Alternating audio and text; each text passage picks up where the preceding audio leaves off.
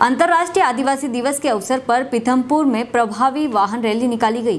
Rally में बड़ी संख्या में वाहनों पर आदिवासी समाज के युवा नारे लगाते चल रहे थे। एक तीर, एक निशान के नारे लगाते हुए रैली महू बहाबा साहब अंबेडकर की जन्मस्थली से होकर पाताल पानी टिंटिया मामा कर्मस्थली पर समाप्त हुई। इस मौके पर भीम सेना के प्रदेश संयोजक डॉक्टर हेमंत हीरोलय ने मीडिया से चर्चा करते हुए बताया कि आज संयुक्त राष्ट्र संघ द्वारा विश्व आदिवासी दिवस घोषित किया गया है।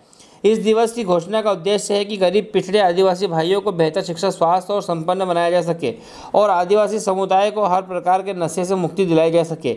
यह रैली आसपास के अलग अलग अंचलों से आकर पीतमपुर में एकत्रित हुई है।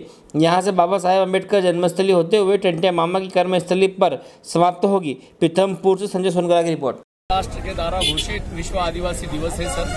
और विश्व आदिवासी दिवस का मेन तात्पर्य था आदिवासी समाज का उद्धार करना, सामाजिक रूप से शिक्षक रूप से, स्वास्थ्य के रूप से और आर्थिक रूप से उद्धार करना मेन मकसद था संयुक्त राष्ट्र का। इसीलिए आज विश्व आदिवासी दिवस मना रहे। हैं आज हमारा विश्व आदिवासी दिवस मनाने के मकसद ये है कि हम लोग सब जागरूक हो गए आदिवासी भाई।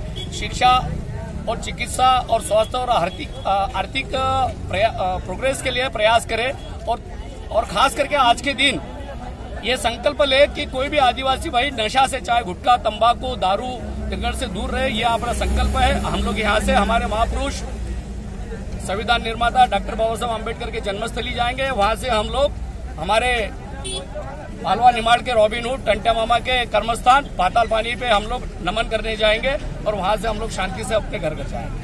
कहाँ से रैली शुरू हुई है सर ये रैली पूरे क्षेत्र से है सर। सरदारपुर राजगढ़ बदनावर अपने सभी गाँव के मतलब सभी गाँव के क्षेत्र से लोग आए हुए हैं सर ये एकत्रित होकर और ये सब जा रहे हैं सर। आपका नाम sir, doctor Hemant Kumar, sir.